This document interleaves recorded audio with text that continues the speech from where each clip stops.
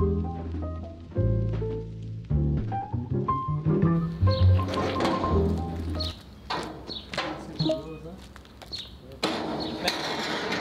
took me ages to drive through.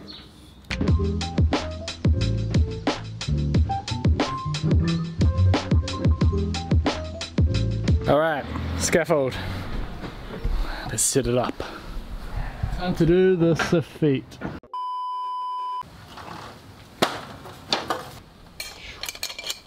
The renovator time.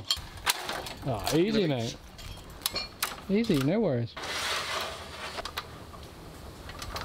Alright, we need to come back with a scaffold because uh, we stood up on that ladder and it seemed a little bit dodgy.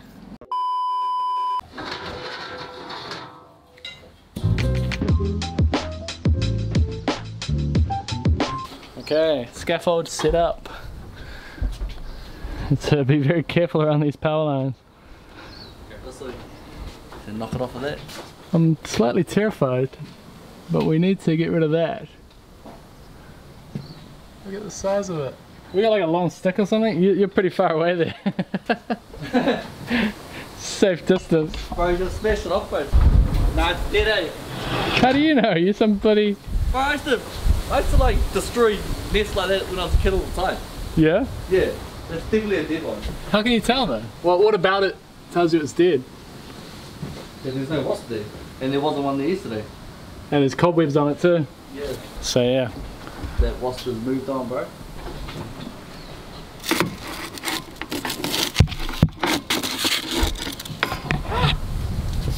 Told you, bro, it's nothing.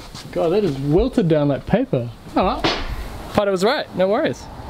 Let's uh, replace this soffit.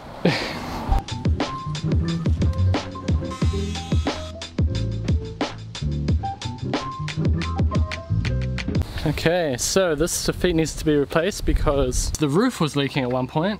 The soffit kind of rotted and sort of broke away. So now that they've replaced the iron on the roof and the flashings, we're able to take off the old damaged stuff and replace it with new. Can I clip this on? It's hard with one hand. Alright.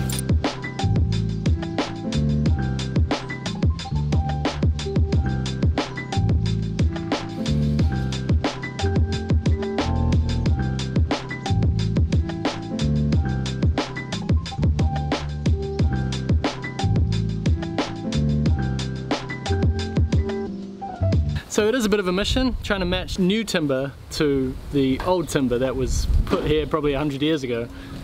Um, they, they did start milling a bunch to try and match to this stuff.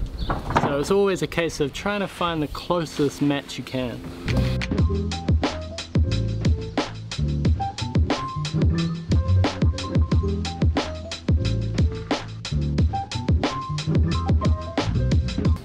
Job well done, Poto. Thanks, Scott. Thanks.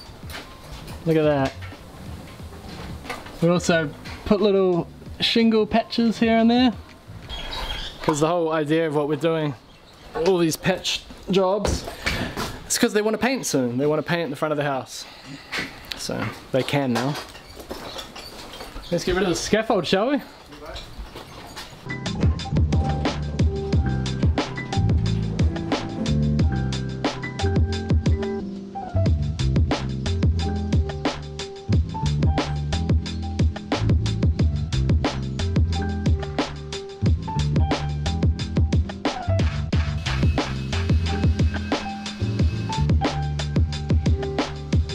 Seal of approval, bro? Just before we go, should we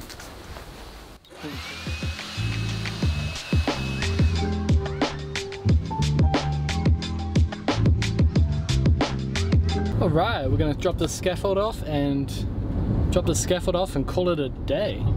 I don't know what happened yesterday with that video. For some reason, a lot of people had problems uh, where it would cut out two and a half minutes in and either just stop altogether or go blank with uh, just the audio playing. So I, I don't know what that was about. I tried to re-upload it. Turns out that was a waste of time because for some people it still happened. So it must have been a YouTube thing. Um, hopefully that sorts itself out and we continue making more exciting episodes of Scott Brown Carpentry.